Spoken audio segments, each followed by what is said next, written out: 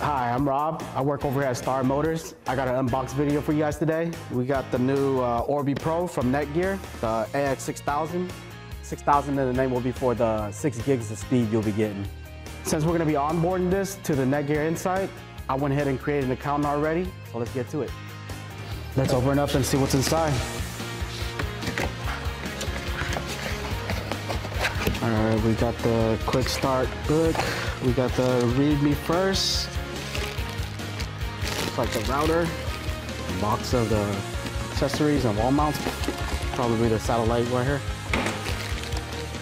Let's see what's inside here.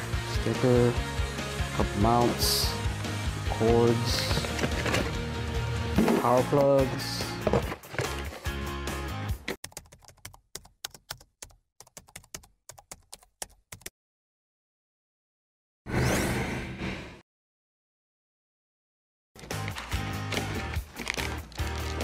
All right, we got everything right here for you.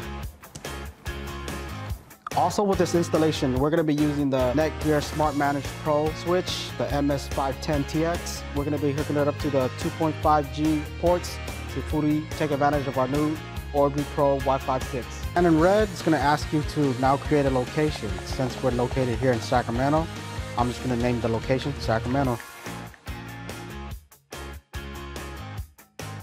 Now I'm just gonna follow through the rest of the menus to complete the onboarding process.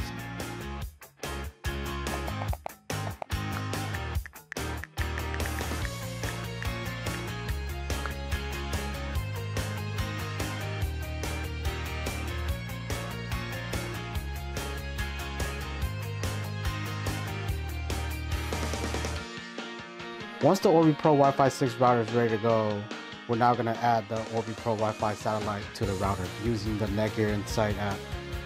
First up, go to the Insight app and navigate to the Orbi Pro device menu.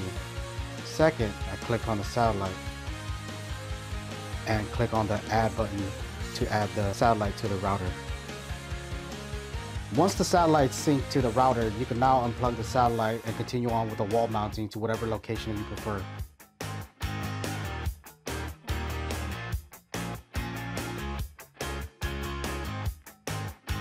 All right, we got the Orbi Pro satellite here with the wall mount, a couple of your hardware screws.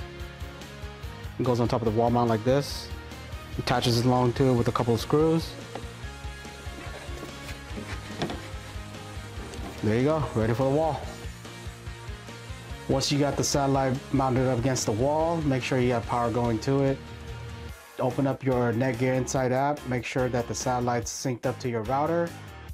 There we go.